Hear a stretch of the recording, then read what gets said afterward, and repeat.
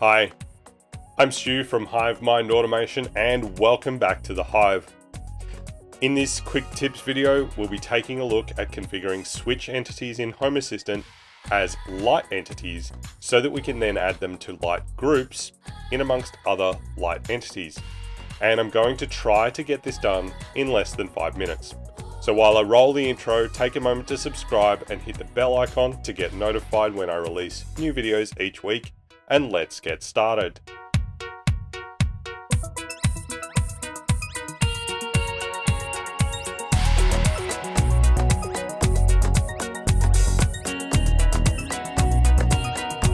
So in my hallway here, I have some downlights that I'm controlling with just some Xiaomi Aqara smart switches.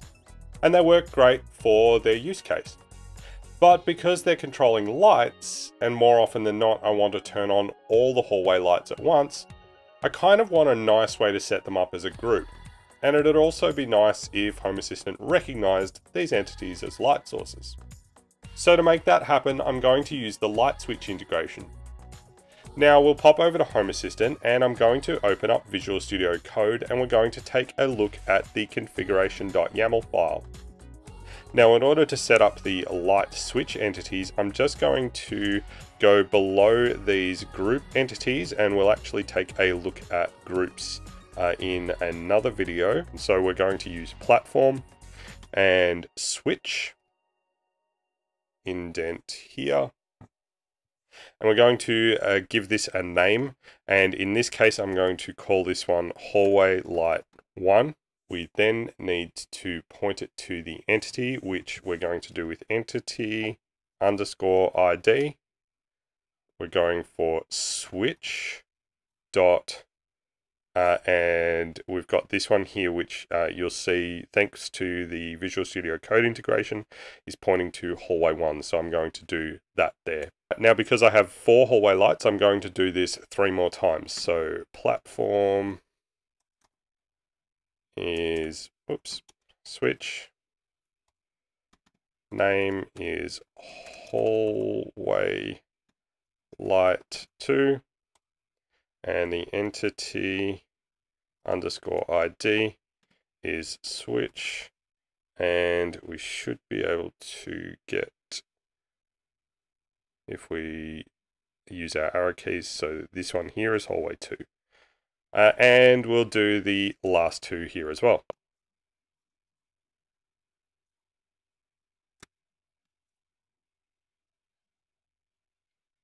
Okay, great. So I now have my four switch entities uh, set up. And if I save this by hitting Command S on my keyboard on my Mac, and we're going to go back over to configuration, and we're going to go to server controls, we're going to check our configuration and we get configuration valid. Now, because we've modified our configuration.yaml, the main file, we need to restart Home Assistant core. So we're going to do that and we'll take a look when the Home Assistant instance comes back up. Okay, great. So Home Assistant has just finished starting. Uh, so if I scroll through here, what I'm looking for is our light section here. And you'll see now we have hallway light one, two, three, and 4. And those are the four lights that we set up. And if I turn on hallway 4, that's turned on. Hallway 3, 2, and 1. Now, these switches here aren't exactly exciting. They don't have any uh, color temperature or uh, RGB because they're just a switch. They're just on and off. And that's okay. And you'll note that they also double up on these lights here. So if I turn on hallway 1 on this switch here, hallway light 1 is on here. And if I then turn that off down here, it's off over here. So we're just interacting with the same thing. And that might seem counterintuitive, but there are reasons for this, uh, and we'll get into that uh, in a future video. So that's casting switch entities as light entities in Home Assistant. I hope you found this useful. That's all we have for this video, and I do hope that it helped you in your home automation journey. Be sure to comment down below with a home automation idea that you would like to see me cover in a future video. Don't forget to follow HiveMind Automation on Twitter, Instagram, and Facebook. I'll put those links in the video description down below.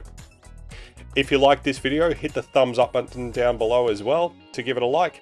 And if you're not already subscribed, please consider doing so now. While you're at it, you might as well hit the bell icon so that you get notified when I release new videos each week. Lastly, if you enjoy what I'm doing here and you want to help to support the channel, there is a buy me a coffee link in the video description down below. Contributions made through Buy Me a Coffee are put towards making more and better content for you to enjoy. Thank you so much for watching. I'm Stu from HiveMind Automation and I'm looking forward to seeing you next time. Bye for now.